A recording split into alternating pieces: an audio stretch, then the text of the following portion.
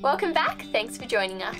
When we moved on board, there was a winch in pieces. So today, Dad is pulling apart the other winch to see how to put the winch back together.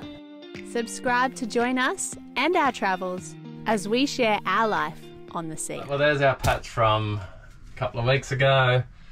We replaced that with G10. It's solid glass board behind there, and I've just glassed it all in. There's our holes for our winch up there. It probably doesn't need a backing plate. This was originally glassed over ply here, or glass over balsa or ply, one or the other. And we removed all that and we filled it with solid, it's probably a bit of overkill, but it's just solid G10, which is just solid glass board. Super expensive, but super strong. Uh, we got an offcut really cheap, so that worked out. Otherwise, we probably would have used plywood because it's really expensive. I probably don't need a backing but this was on the boat. A big sheet of alley was a backing plate there. So I might just make an epoxy bed and put that in. It probably doesn't need it, but we've got it. This winch is not coming, oh, is not going to come loose, guys. Once that's bedded and dried, I'll drill the holes in it and we'll mount our winch. So the winch was in parts. It's all in boxes. It's all been cleaned of its old grease.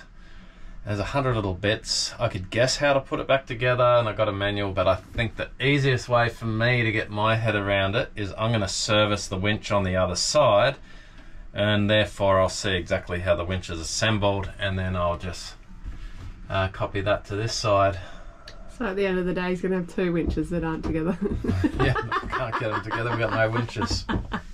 and no, then he'll read the manual you know, you can interpret a manual differently sometimes. I don't want to put a washer on where it doesn't go and one where it should be and shouldn't have and doesn't have and blah blah blah. Anyway,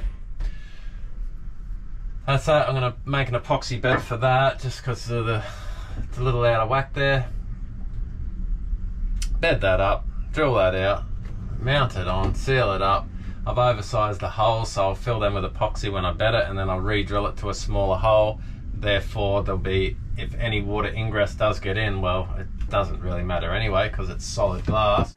Okay so we've got these Lewmar 65s they're quite big winches. Uh, as you can see over here there's one I haven't pulled apart. And what I intend to do so I can put them back together properly is I'm going to service the one that hasn't been pulled apart. I'm going to put it I mean, as I pull it apart, I usually put things in order as the way they come apart. Once I've created that order, I'll then try and sort through the parts over there and uh, make sure we've got all the parts. And by the time I finish servicing this one, I'll know how to put that one back together. So that's the plan. We'll see how it goes. Sometimes things go to plan, sometimes they don't. I think it's pretty straightforward.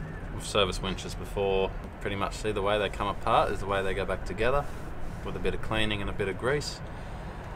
So just hopefully all the parts to the other winch are there. It was just a bucket of winch parts so I'm to just line these out like I said. See that I've got all the parts and I can put them both back together.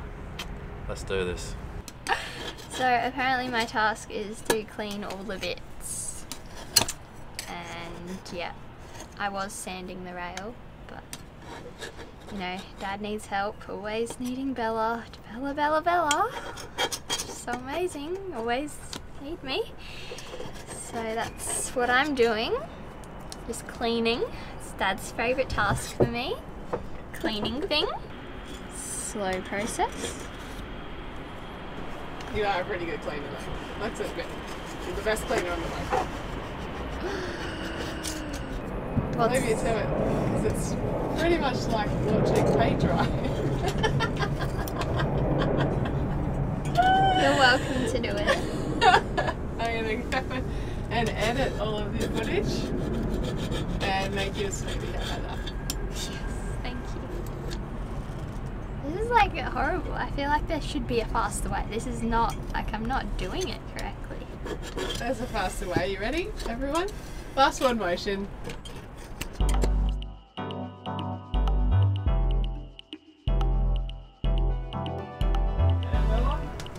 Yep. What are you doing there, Bebe? So, Dad is down below pushing silicon up through the holes for the base of the winch. So we just put the butyl tape on. I've got to watch the holes for the base of the winch to go in. Nah.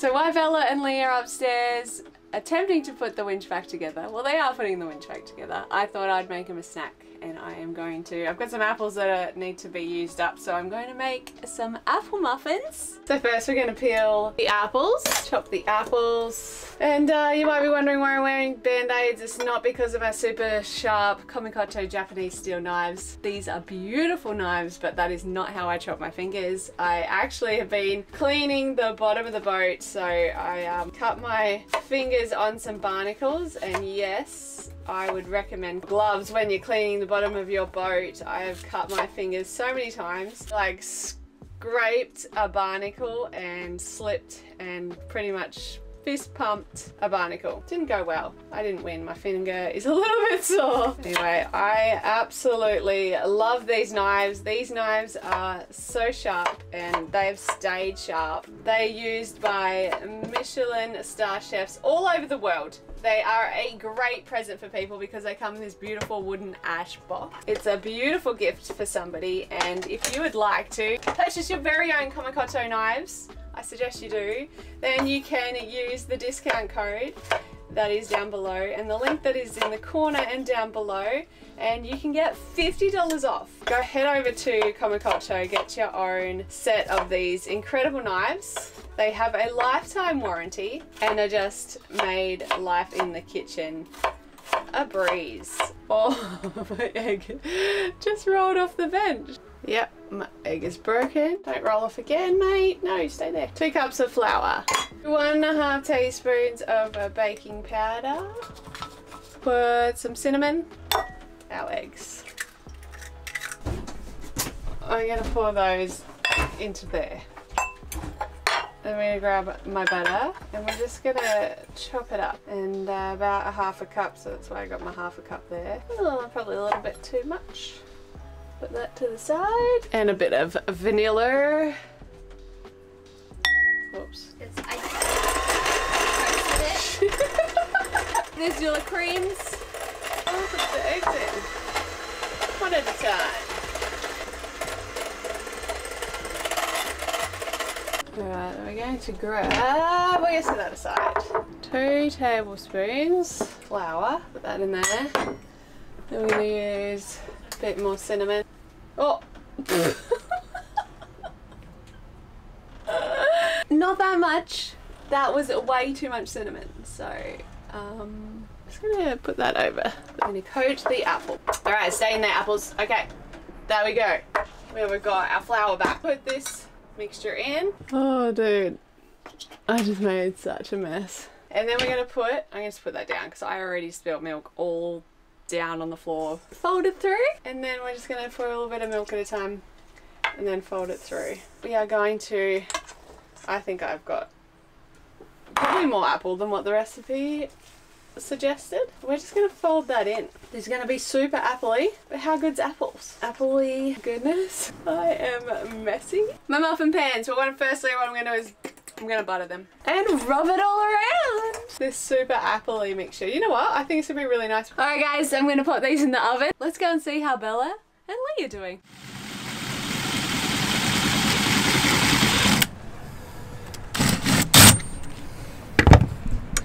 What are you doing, honey? Oh look, I really want to get this back together and one of the pieces that was missing was a washer.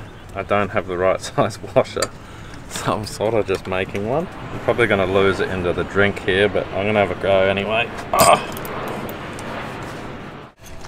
Oh, I've got to make it a lot bigger. Do you want to grab my die grinder for me, Belle? It's got to make it a little bit bigger, guys, and I don't have a drill bit. But maybe my die grinder will fit in there, I'm not sure. I just don't want to wait. I just want to, I've sort of started. I got my head around these winches and I got both of them pulled apart. So I sort of want to get both of them, or at least one, put back together. I'd like both put back together, to be honest. Hold that for me, Belle. Real backyard style, guys, but I just want to get the job done. I need warmer work clothes soon. It's already getting colder.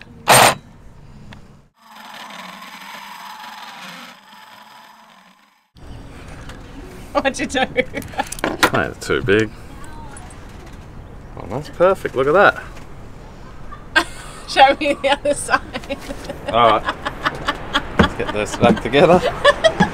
Alright, so it's time to put it back together.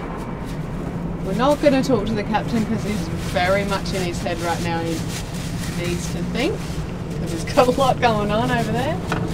Bella's cleaned all the bits. Been very helpful cleaning all the parts. What have you been doing? WD fortering them? Yeah, WD fortering them. That's exactly what I've been doing. Yeah, WD fortering them. That's what Yeah. you do. Put that on there, wipe them down. So yeah, all I've been doing is WD 40ing them. and if there isn't any like plastic or anything that this thing can't go on, then I use the um, strength parts cleaner. Yep. It's a greasy, oily job. My hands are very moist now. I don't think they are that oily. They smell like WD 40. Kind of smells like vanilla.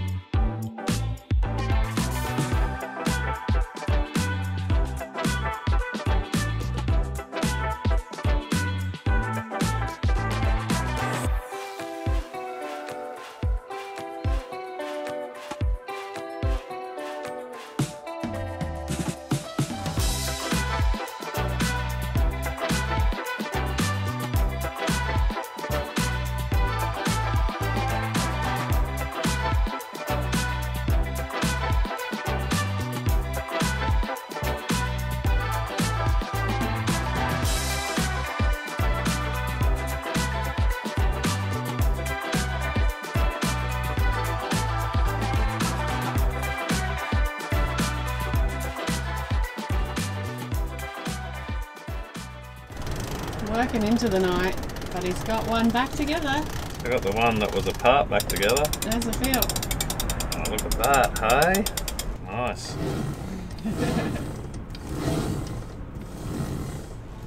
You know when you pull something apart, you never want bits left over. What happened, babe? Well, it's learning to me because I didn't pull it apart. I'm trying to put back something someone else pulled apart. Just noticed a couple of screws,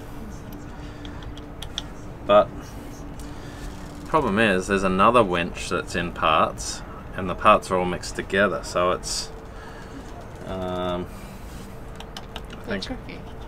I don't know if there's parts for the other winch, which I do have a few parts, but I've just got a funny feeling these ones go in here.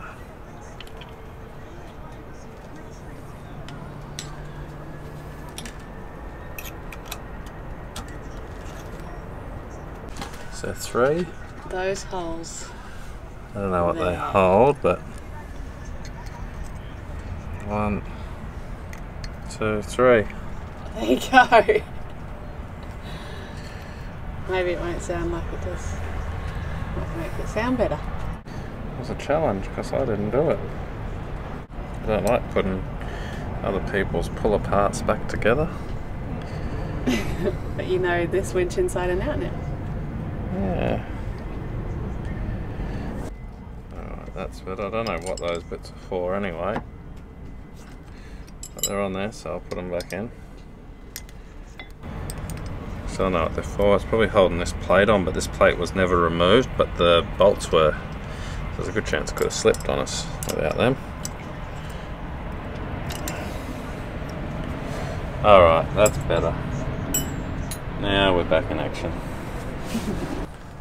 As far as I can see, that's how it goes. That's all the bits, apart from a bearing and another plate and a washer off this one, which is another separate winch. I've used up all of these pieces, so Now it's time to put the other one back together.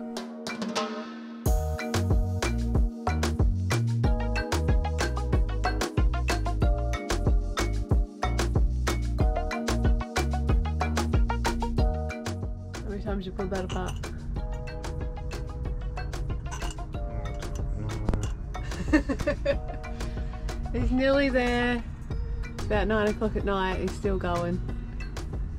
You know what you said though? You jinx yourself. You always say, you go, oh, this won't take long. Famous last words. He's putting the last little bits together though. Well done, honey. We got two serviced winches now. And now the one's back together. So let's go sailing. We got our boy back home.